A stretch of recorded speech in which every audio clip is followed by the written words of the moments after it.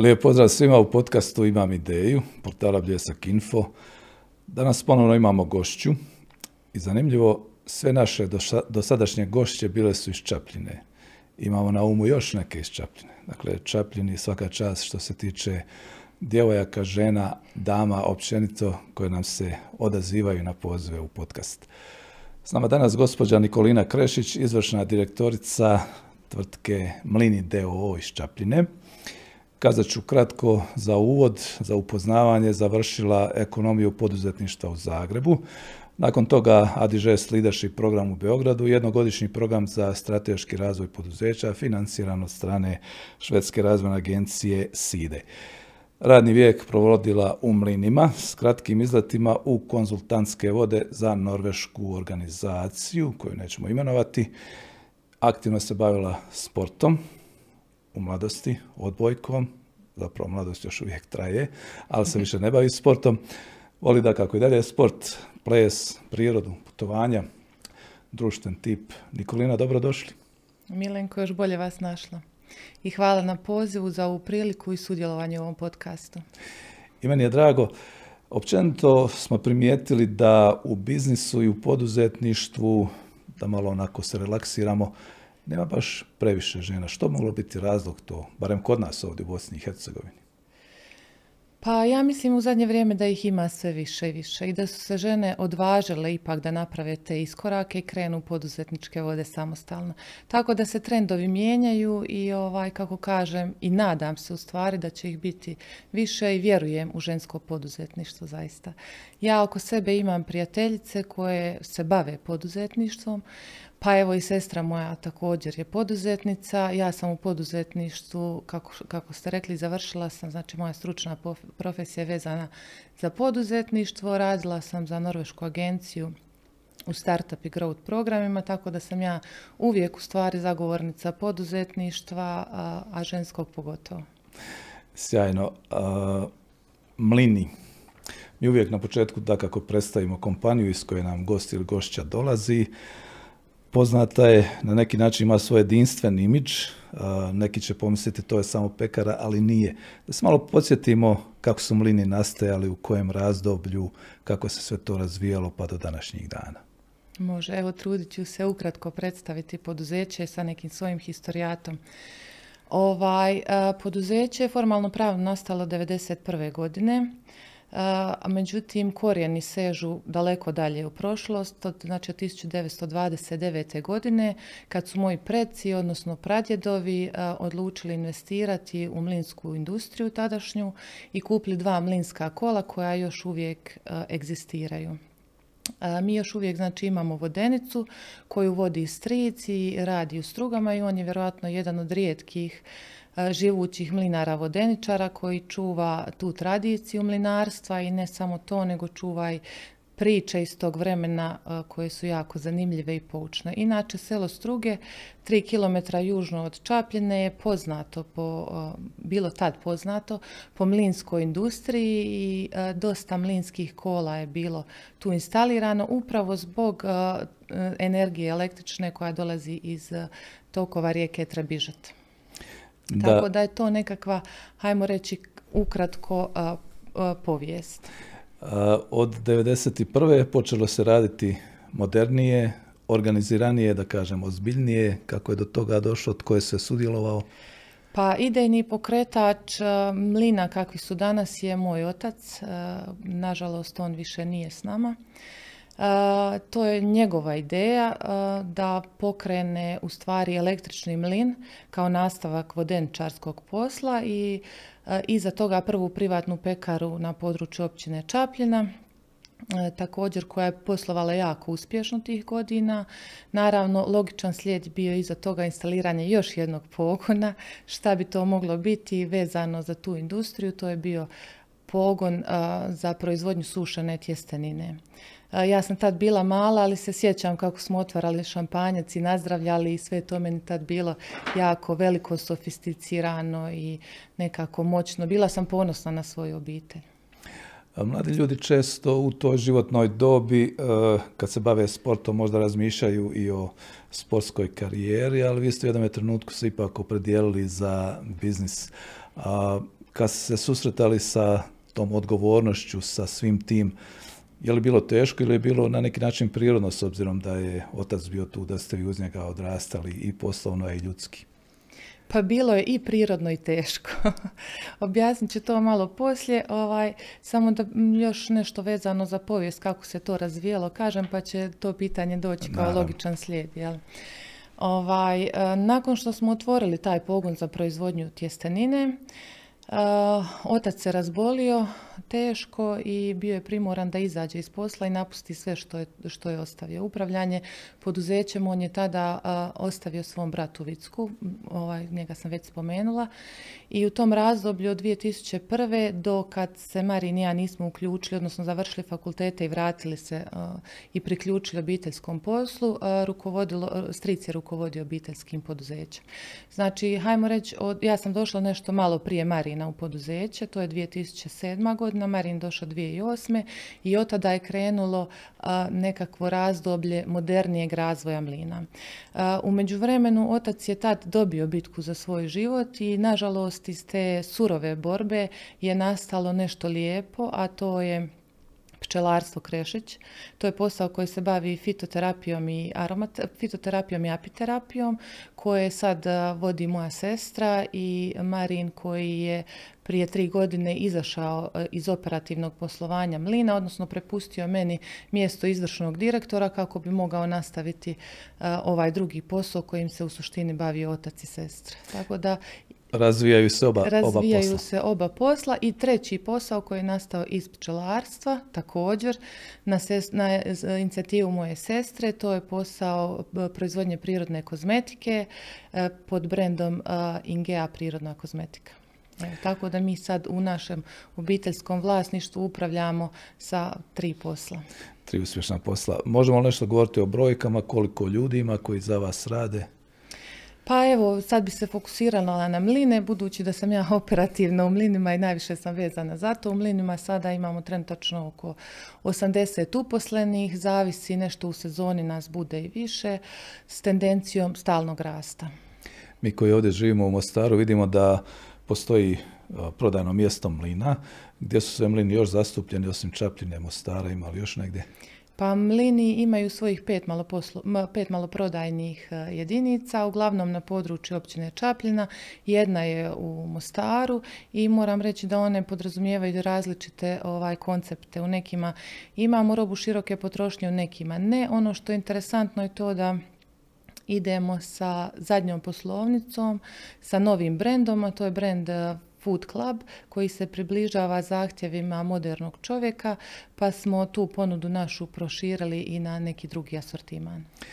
E, upravo sam to htio i pitati, kako pratiti moderne trendove, kako se razvijati, da kažem, postajati raznovrsniji, kvalitetniji, na neki način privlačniji potrošaču, da ne bude ono kao što smo imali dugo vremena, pogotovo u bivšoj državi, kruh, nekoliko kifli, možda pereca i to je to. Na koji način vi pristupate strategiji? Pa imamo različitih načina i ja mislim pod broj jedan da je vrlo važno ovaj kretati se, putovati, pa kretati se i u okružju um, bližnjem kako bi jeli, vidjeli nove trendove, snimili što radi naša konkurencija, dobili nove uvide i onda kad se vratimo u našu stvarnost, u stvari pogledamo svakodnevnicu iz druge perspektive. Mi unutar našeg odjela od prošle godine razvijamo odjel razvoja i moram pohvaliti tu ovaj djelatnike naše koji su praktički iz nule krenuli u svoj osobni razvoj i danas je jedna takva osoba nominirana da vodi sutra cijeli taj odjel. Ove godine, odnosno sljedeće godine, pristupamo ozbiljno ovaj, hajmo reći, e, profesionalizaciji tog dijela poslovanja, tako što razvijamo standardne operativne procedure, radne upute koji su dio integriranog HASA PISO sistema, kako bismo sve to stavili u protokole i lakše pratili taj proces inoviranja i optimizacije proizvoda.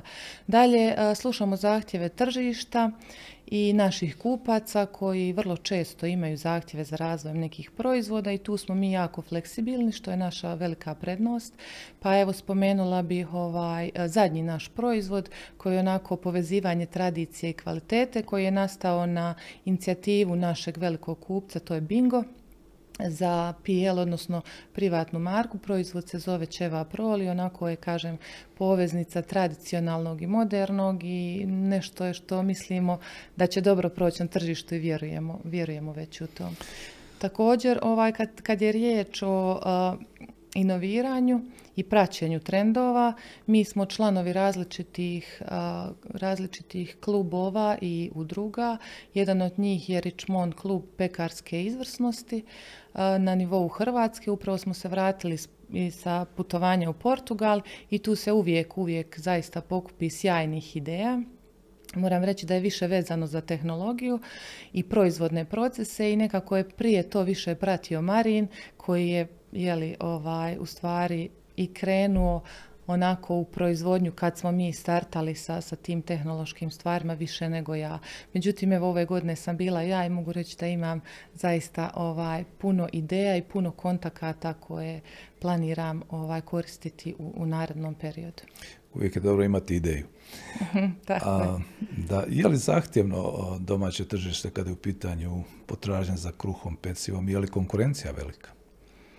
Pa konkurencija jeste velika, ono za što smo se mi odlučili je kvaliteta i posebnost. Jedna od e, naših vrijednosti, ako pričamo o vrijednosti, onim kako smo se mi diferencirali, je u stvari autentičnost. Mi se trudimo biti autentični u našim proizvodima. tako da u proizvodnji u dnevno svježem kruhu mi koristimo kisela tijesta i naš kruh spava odnosno ima hotele, odležava u, kako bi razvio svoje arome. Koristimo također ta kisela tijesta i francuski način proizvodnje. Naš kruh odležava kako bi razvio arome i ovaj, u stvari usporavamo cijeli proces da bi dobili kvalitetni proizvod za naše potrošače. To je nešto što radimo u, tom dijelu tradicionalno, odnosno vraćamo se u prošlost, vežemo puno zrnate kruhove, vežemo kisela tijesta, odgođenu fermentaciju kako bi, kako bi sve to iznjedrili jeli, i, i diferencirali se na tržištu u moru ovih stvari koje su slične. Tako isto radimo i u pogonu ovaj, duboko zamrznutih, lisnatih, učenih i dizanih tijesta, koristeći autohtone proizvode i neke stare recepture. Da, bit će vjerojatno u razgovor još prilike da se spomenu proizvodi na ovaj ili na onaj način.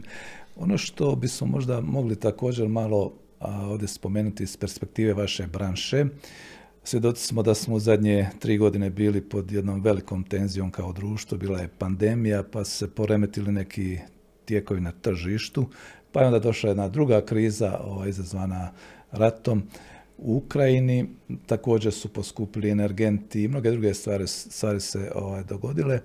Kako se to sve prebrodilo? Je li bilo nekakvih većih šokova, da kažem, kod vas? Uh, pa jest, bilo je teško. Moram priznati da je bilo zaista teško i zahtjevno. Mislim ne samo za naše poduzeće, nego za cijelu privredu, za sve poduzetnike. Pandemija je bila nešto što nas je pomjerilo iz naše točke komfora, iz, iz, našeg, iz naše svakodnevnice i to nas je jako pomjerilo u vrlo kratkom periodu.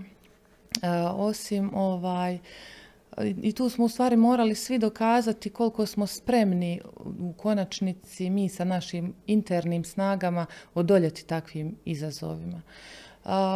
Mislim da ovaj, smo mi uspješno odgovorili na to i ovim putem bi se zahvalila svom kolektivu i, i bila sam jako u stvari iznenađena i sad kad se sjetim toga mogu reći ponosna na svoj kolektiv koji je prihvatio odluke menadžmenta koje nisu uvijek bile lagane ali smo svi skupa ovaj, zajedničkim snagama prebrodili tu krizu, izašli iz nje jači i rekla bi agilniji i spremniji na, na promjene.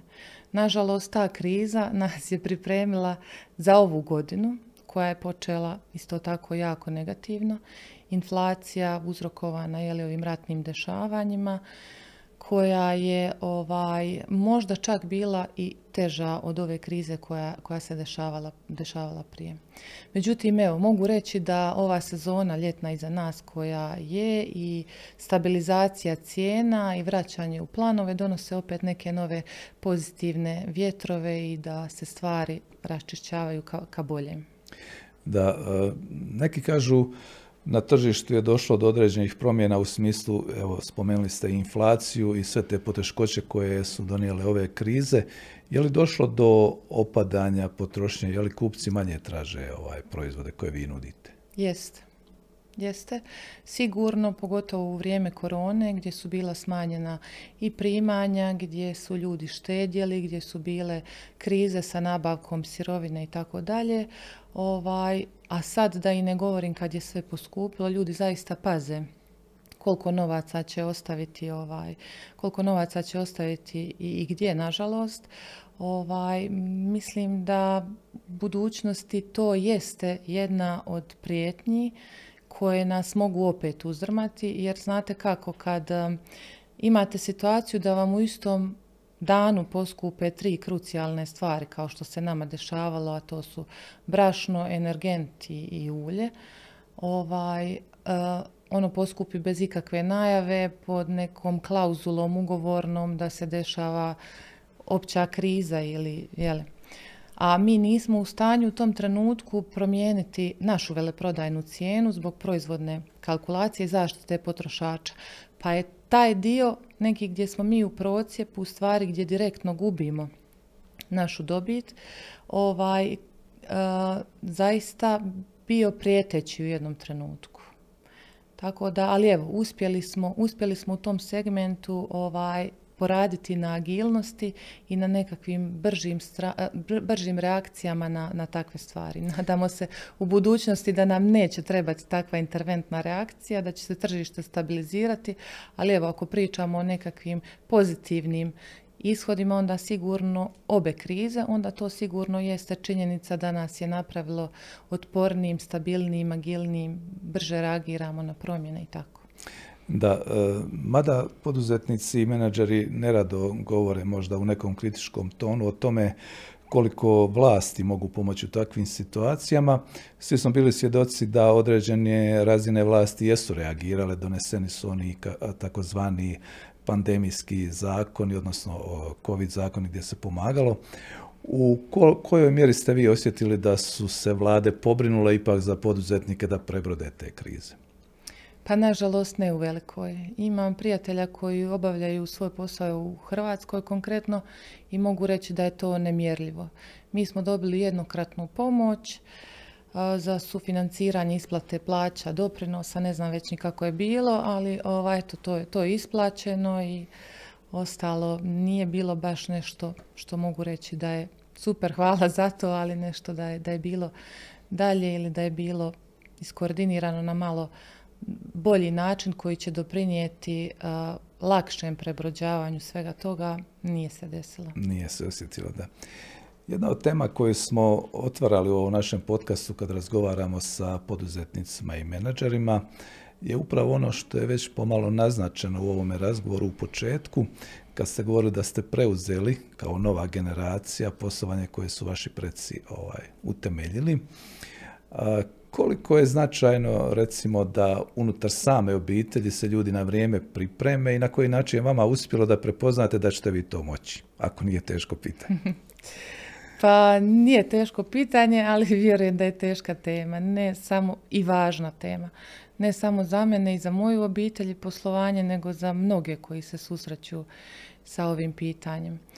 Ovaj, uh, mlini su danas uh, jedno poduzeće koje je dosta strukturirano. Znači vlasnički odnosi su jasni. poduzećem se upravlja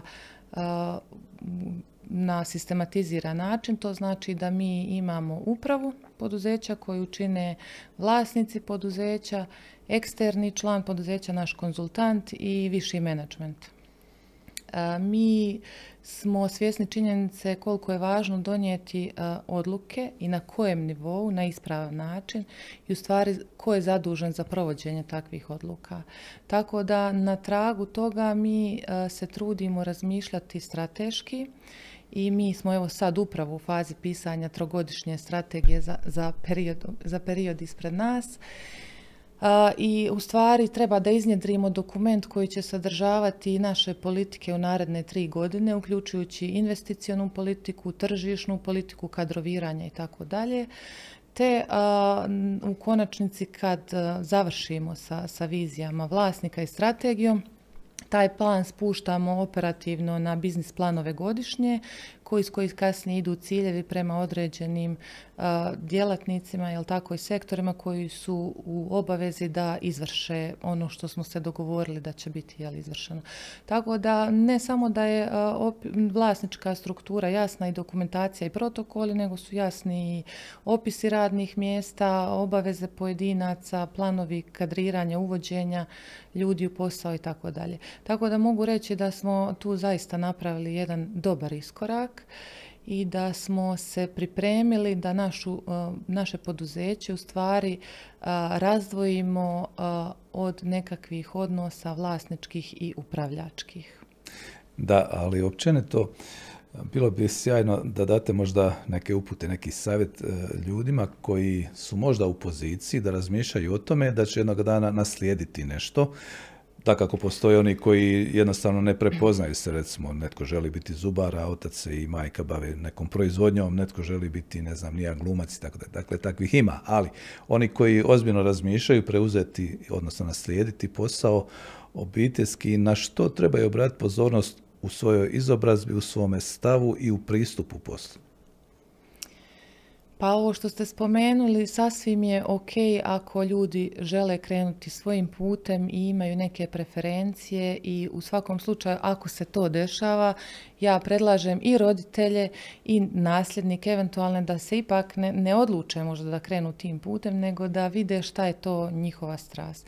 Međutim, ovo kako sam ja bila odgajana u poduzetničkoj ideji, ja vjerujem da su tako većina ljudi koji su u sličnim situacijama kao ja, jer mi odrastamo s našim poduzećima, sa našim roditeljima koji su predani tom poslovanju, tako da ja vjerujem da se kod njih uvijek negdje rađa jedan dio ljubavi prema poslu koji rade njihovi roditelji. Moj savjet za njih bi bio da najprije spoznaju to što, je to što žele, da, da pričaju dosta sa starijim od sebe, iskusnijim ljudima i da nekako probaju, ajmo reći, vidjeti šta je to što bi bilo najbolje za njihovu budućnost. U svakom slučaju da svoje prvo radno iskustvo nakon završene škole, fakulteta, steknu u, ne u obiteljskom poduzeću, nego u poduzeću koje je možda slično ili na organizacijskom nivou, na većem, odnosno na većem organizacijskom nivou nego što je to njihovo obiteljsko poduzeće. Tako na taj način oni u stvari e, dobiju cjelokupnu sliku poslovanja, vide svoje preferencije, steknu nekakva iskustva koja će im kasnije olakšati ovaj rad u poduzeću.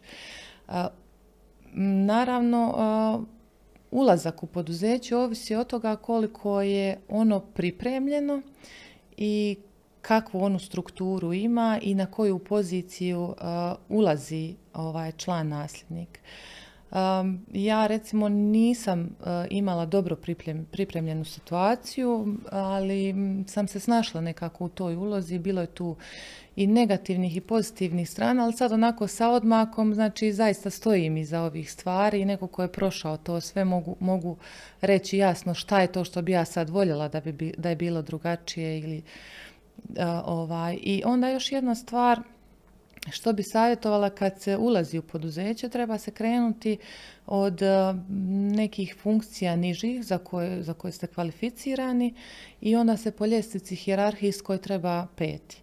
Naravno, tim, tim načinom stečete određeni kredibilitet koji kasnije kada dođete na neku upravljačku funkciju nosi svoj autoritet. Znači autoritet ne možemo ovaj kupiti ni steći ovaj nekim drugim načinom, nego samo požrtvovnim predanim radom i počevši sa tih nekih, ajmo reći, basic steps položaja. Ovaj, još jedna stvar, ako se spremate za poziciju lidera u firmi, bitno je da, da imate tu žar, da gorite i da nekako sebe tjerate van komfort zone. Odnosno, svaki lider mora sebe često preispitivati, stavljati van komfort zone, jer u stvari izlazak iz komfort zone inicira promjenu promjena mora biti inicirana od lidera, ne samo da on mora biti u stvari sposoban da upravlja promjenom koja je sastavni dio procesa i da je koordinira, nego on mora inicirati. Koliko god bilo teško, ali to je za mlade ljude onako mora biti izazov. Evo, puno toga sam navela. da, korisno je dakako. A, koje škole odabrati ako se pripremaju za buduće lidere, odnosno upravitelje ovaj, tih obiteljskih kompanija? Pa zavisi od e, preferencija, zavisi od toga čime se poduzeće bavi. Jeli? Evo, u svakom slučaju da sam ja možda birala, ne bi bilo loše da sam završila prehrambeno-tehnološki fakultet, pa onda da sam upisala ove naknadno škole ekonomije i menadžmenta, ali u svakom slučaju za upravljačke funkcije moramo, moramo proći dosta te nekakve edukacije neformalne. Jer u stvari što god da završimo, što god da završimo, to je samo ulaznica ajmo reći u disku. Kako ćemo se zapaviti u disku, ovisi o nama samima, jel? Slikovito, figurativno, da tako kažem, jel? Da. A, koje greške, recimo, ne bi trebalo praviti? Greške se prave kada je mlad čovjek i neiskusan, to je svima nama jasno, svi mhm. smo to prolazili. Ali recimo, što bi trebalo izbjegavati, što bi unaprijed trebalo prepoznati, ovo ne smijem raditi? Hm. To je malo teško pitanje. Ovaj, iz grešaka puno učimo. Bitno je možda da ne rasipamo energiju da se fokusiramo, da vidimo šta su prioriteti, da posložimo naš dan, naš mjesec kroz nekakve ciljeve i uvijek da razgovaramo sa iskusnijim od sebe i da ta znanja koja je neko već prošao i korake koje je već prošao probamo e, akceptirati i izvući nekakvu najveću korist jeli, iz toga. Sad konkretno što ne bismo trebali raditi, ne znam, kažem, evo, greška teško je znati bez konkretnog slučaja. Teško je, da, da. da, da. Dobro. Ima puno toga što ja sad ne bi radila na način na koje sam radila, ali... Ali se izvuklo iskustvo i pouka. I sad kad se dođe uh, na taj level da se upravlja, da se zapravo postalo liderom, ovaj, izvršnim direktorom, uh, koji su onda izazovi kod nas konkretno mislim. Dakle, ne bavimo se sad teorijom koja se negdje izučava ili se može ovaj, naknadno pročitati, nego u konkretnom okruženju. Koji su izazovi za menadžera kod nas u ovakvoj poslovnoj klimi kakvu imamo? Izazovi su definitivno um, kadrovi koji nam odlaze i koji nisu um, sa svojim školovanjem ili iskustvom prilagođeni potrebama tržišta rada.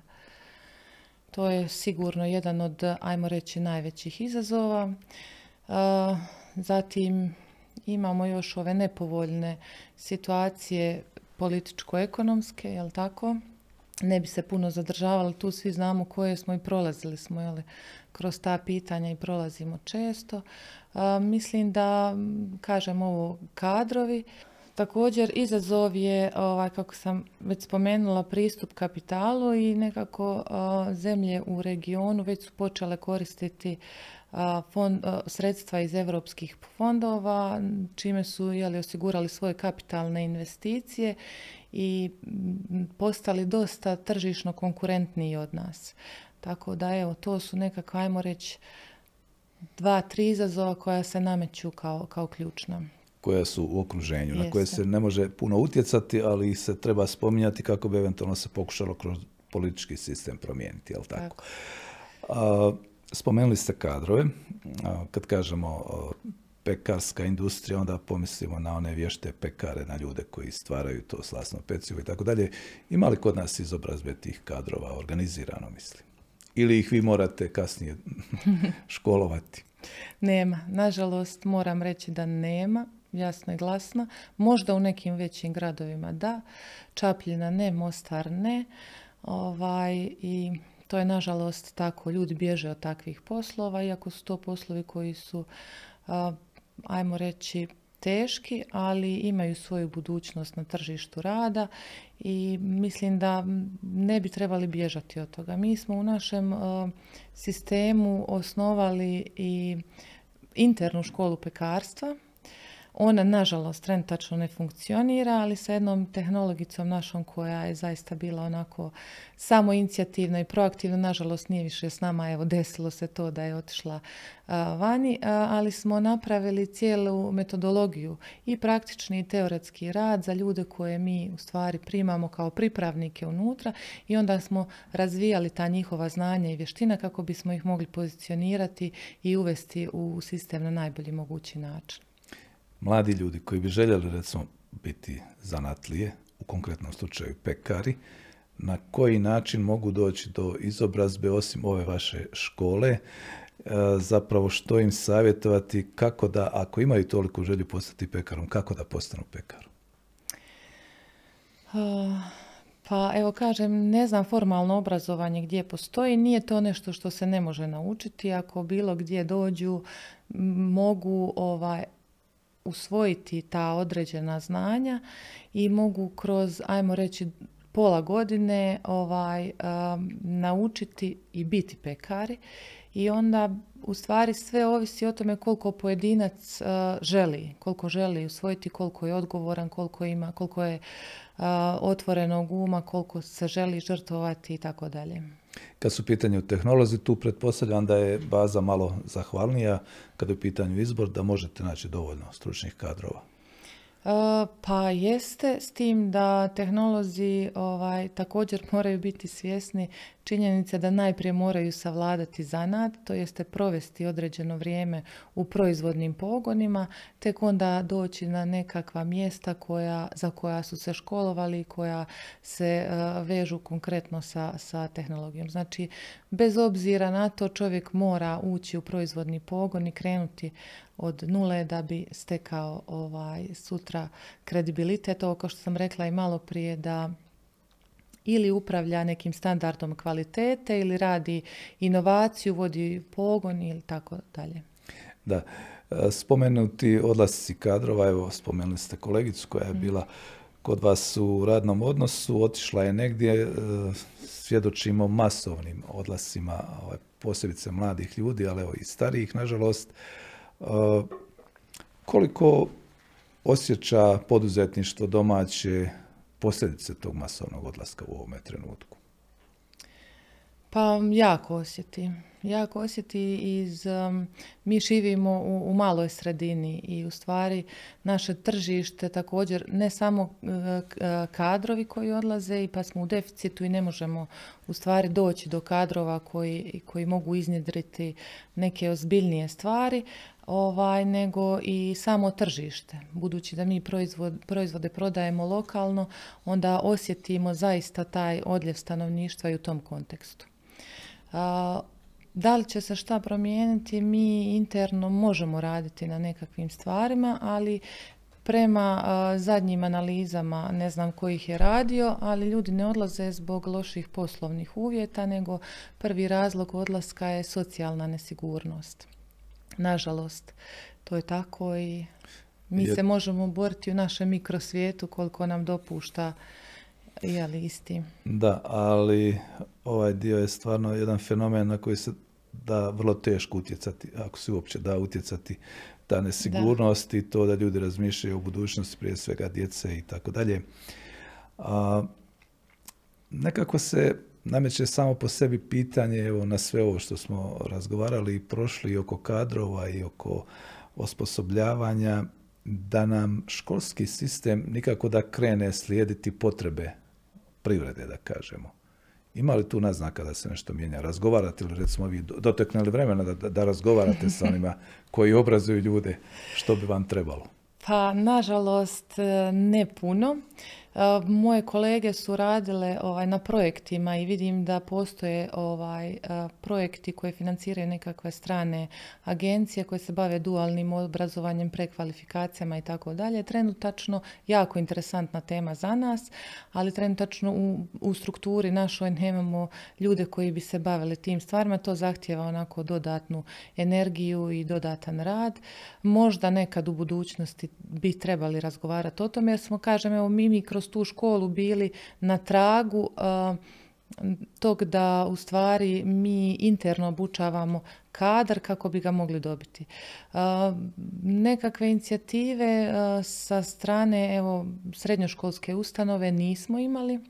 Međutim, evo imali smo inicijativu i to je zaista pohvalno. Naša općina Čapljina kod primanja svojih pripravnika u pripravnički radni odnos vrlo je prijateljski raspoložena za u stvari posudbu kadrova mladih koji bi se educirali kod nas u poduzećima i nastavili možda svoje, svoj radni odnos u, u, tom poduzeću. Mi smo imali pozitivan primjer i par ljudi zaista koji su prešli iz općine su nastavili raditi danas su jel, evo, i prvoborci i hajmo reći neko ko, ko je u upravljačkom timu mlina. Da, ali recimo permanentna praksa, znači iz generacije u generaciju, da se uspostavi jedan sustav da na jednoj strani škole upisuju one kadrove koji objektivno imaju šansu kad završe školovanje pronaći posao na tržištu rada, s druge strane da poslodavci znaju da će jednoga dana opet doći neka nova generacija, odnosno po mogućnosti svake godine nova generacija onih koji im trebaju i na trećoj strani da i političari naravno sve to podrže i da, da taj sistem se ovaj uhoda. Koliko smo daleko od toga? Koliko bi vama recimo bilo korisno da imate nekoga tko će vam dolaziti četiri godine na praksu i onda sve zna, jel? Bilo bi jako korisno, evo ja mogu reći sad iz ove pozicije da smo mi vrlo otvoreni, čak i možda u završnoj godini davati nekakve stipendije za ljude koji su voljni ostati raditi s nama. Ovaj, mislim da smo daleko od te priče i da nema dovoljno inicijative ni sa jedne ni sa druge strane, nego, ajmo reći, plivamo u tom, tom stanju kako je. Vrlo rado bi se priključila, evo kažem, neka, nekakvoj takvoj inicijativi ako se desi. Ono što se mora desiti u stvari i kod izobrazbe tih kadrova da se oni usmjere na zaista potrebe tržišta rada i da u tim svojim e, metodologijama inoviraju, moderniziraju pristup e, e, samih profesora, da se taj školski sistem učini malo agilnijim, da imamo više linka sa potrebama zaista tržišta, jer evo rekla sam, stvari se jako, jako brzo mijenjaju i mi u stvari ćemo biti uspješni koliko budemo spremni odgovoriti na promjenu. Da. Evo recimo, kazali ste da ste spremni na sve pozitivne promjene, jer da kako to unapređuje, unapređuje ako ništa mhm. šanse, a vjerojatno u praksi i puno drugog toga. A, oni koji bi bili inspirirani ovim razgovorom i kažu ovo je odlično poduzeće, ovo su odlične stvari za razvoj, za stabilan život, a što vi očekujete od mladih ljudi kad vam pokusuje na vrata jednoga dana? Kakvi trebaju biti, kakav pristup trebaju imati? Pa trebaju imati u stvari volje, trebaju imati odgovornosti. znanje i vještine će se steći i mi smo uvijek tu i imamo sistem takav da će vrlo brzo pojedinac koji želi upiti to imati priliku da u stvari prihvati ta znanja, ugradi ih jeli, na svoju radnu poziciju, krene ih koristiti i penje se po toj nekoj ljestvici. Bitno je da je čovjek kako ću reći, zainteresiran, ajmo reći, da prihvati vrijednosti koje ima poduzeće, jer ako se vrijedno, vrijedonosno ne slažemo, a naše poduzeće ima propisane vrijednosti, onda nećemo ići na duge staze. Jel? Čovjek mora biti odgovoran i spreman primiti kritiku. Rekla bi da je možda to ključno, jer kada dobijete mentora, taj mentor ne daje kritiku osobno, nažalost, što mnogi mladi ljudi svaćaju onako je li osobno, ne trebaju to svaćati tako, nego tu je mentor da čovjeka usmjeri, da mu da podršku, a to se često rješava jeli, kroz nekakvu kritiku na određeni dio posla koji niste obavili kako treba.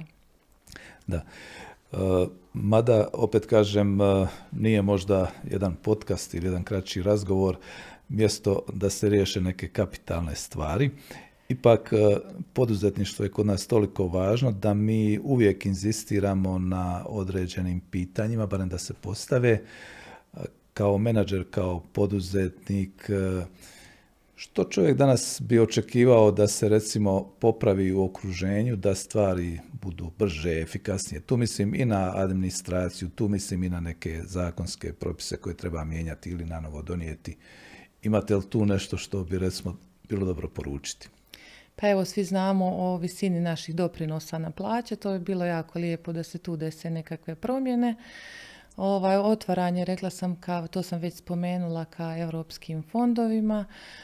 taj link između školstva i potreba tržišta rada, manje više smo nekako, ajmo reći, sve, sve, sve nabrojali. tu je to negdje. Tu je to negdje. Evo, mislim, bilo bi još nekakvih stvari, ali da sad ne idemo u detalje, otprilike mislim da smo spomenuli te neke stvari koje su za nas ključne. Da. E, Ovako kad se razmišlja o budućnosti, e, o planovima, evo kazali ste, kriza je prebrodila se, u neku ruku barem stabiliziralo se, poslovanje opet ide nekim svojim tijekom, izvukli ste pouke, postali ste prilagodljiviji, očvrsnuli. Kako su planovi dalje, što smijemo otkriti, što mhm. očekivati od vas i od mlina? Pa evo kako sam već spomenula, radimo na strategiji, detalje ne smijemo ne otkrivati, ali bit će tu nekakvih dosta inovacija.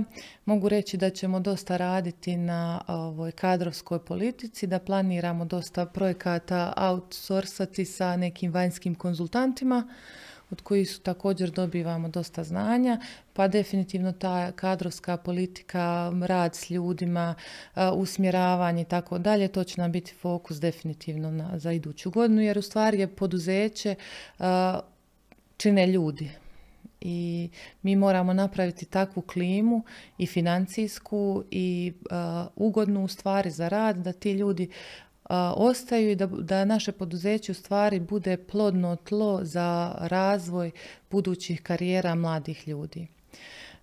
To će biti u fokusu, naravno investicije, tržište, trudimo se osluškivati i biti konkurentni, te naše odluke donositi, hajmo reći, na temelju nekakvih činjenica i spoznaja koje smo prikupili tijekom određenog perioda, naravno i predviditi nekakve rizike i nekakve buduće trendove kretanja u našoj industriji.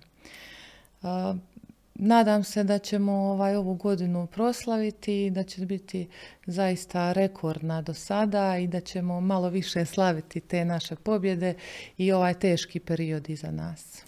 Da, evo za sami kraj, na početku sam spomenuo, bavili ste se sportom, sad u ovome trenutku se bavite uglavnom biznisom, ali vjerojatno dotekne vremena i za ovo sve što smo nabrali da volite i ples i sport i putovanja i tako dalje. To su one bolje strane, jel tako? Kako to uspijevate uklopiti? pa uspijevam. Evo uspijevam i dosta sam aktivna, krećem se, putujem. Nažalost, zbog tih čestih putovanja sam odustala od plesa. Taj ples u jednom periodu mog života je onako dosta mi značio opuštao me. Bavim se rekreativno sportom i sada ne odbojkom, ali onako trudim se da ostanem ovaj, u, u dobroj fizičkoj kondiciji, da pazim na sebe koliko mogu. I evo, ne znam, mislim da je u suštini E, ključno dijeliti ovaj poslovni život kroz e, jedna druženja koja su i privatna i poslovna opet i koja te na neki način oplemenjuju i daju ti snage i u kojima nađeš inspiraciju da nastaviš dalje. Mislim također kada spominjemo riječ inspiracija, Nikolina, da će ova vaša priča, iako nismo ispričali sve, nego samo jedan dio biti inspirativna mnogima koji se jednoga dana žele baviti nekim biznisom i svim onim što je vezano uz biznis. Hvala za gostovanje u podcastu Imam ideju. Hvala Miljenko vama na pozivu, ja se isto nadam. Sve Hvala najbolje. lijepo još jednom. Bila je to naša gošća Nikolina Krešić, izvršna direktorica tvrtke Mlini DOO. Podcast Imam ideju, već smo kazali, ide naprijed, dovodi zanimljive ljude, a vi gledajte da nas gledate.